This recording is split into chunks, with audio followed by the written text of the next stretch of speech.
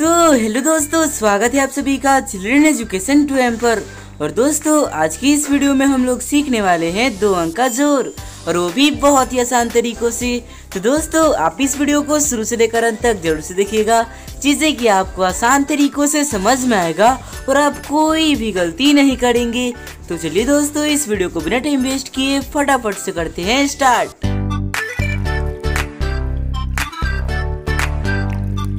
तो दोस्तों, आज हम सीखने वाले हैं दो अंक का ज़ोर, जिसको इंग्लिश में बोलते हैं टू डिजिट एडिशन तो दोस्तों, यहाँ पे हमें 43 को 25 में जोड़ना है।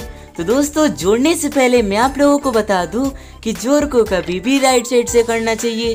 तो दोस्तों, इस साइड से हमारा पहला अंक क्या है? तीन।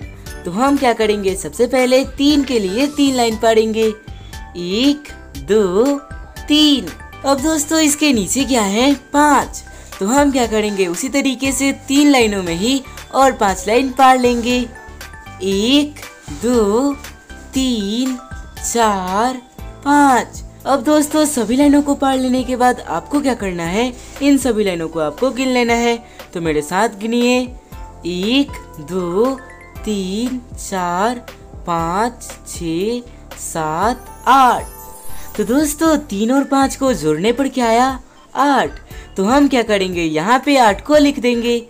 अब दोस्तों, उसी तरीके से तीन के बाद क्या है? चार। तो हम क्या करेंगे? चार के लिए चार लाइन पार लेंगे। एक, दो, तीन, चार। अब दोस्तों, इसके नीचे क्या है? दो। तो दोस्तों, हम उसी तरीके से चार लाइनों में ही और दो लाइन पार लेंगे। एक, दो। अब दोस्तों, सभी लाइनों को पार लेने के बाद आपको उसी तरीके से इन सभी लाइनों को आपको गिन लेना है। तो मेरे साथ गिनिए। एक, दो, तीन, चार, पाँच, छ। तो दोस्तों, चार और दो को जोड़ने पर क्या आया? छ। तो हम क्या करेंगे? यहाँ पे छ को लिख देंगे। और दोस्तों, ये हो जाएगा हमारा आंसर तो दोस्तों, है ना ज़ोर बनाना बहुत ही ज़्यादा आसान। चलिए दोस्तों, एक और क्वेश्चन को बनाते हैं, जिसकी मदद से आपको और भी अच्छे से समझ में आए और आप कोई भी गलती ना करे। तो दोस्तों, यहाँ पे हमें 53 को 24 में ऐड करना है, यानी कि इन दोनों को हमें जोड़ना है। तो दोस्तों, इस साइड से हमारा पहला अंक क्या है? तीन। तो हम क्या करेंगे? सबसे पहले तीन के लिए तीन लाइन पढ़ेंगे एक, दो, तीन। अब इसके नीचे क्या है? चार। तो हम क्या करेंगे? उसी तरीके से चार के लिए चार लाइन पार लेंगे। एक, दो, तीन, चार। अब दोस्तों, सभी लाइनों को पार लेने के बाद आपको क्या करना है? इन सभी लाइनों को आपको गिन लेना है। तो मेरे साथ गिनिए। एक, दो, तीन, चार, पाँच छ सात। तो दोस्तों, तीन और चार को जोड़ने पर क्या आया? सात। तो हम क्या करेंगे? यहाँ पे सात को लिख देंगे। अब दोस्तों, तीन के बाद क्या है? पाँच। तो दोस्तों, हम उसी तरीके से पाँच के लिए पाँच लाइन पार लेंगे।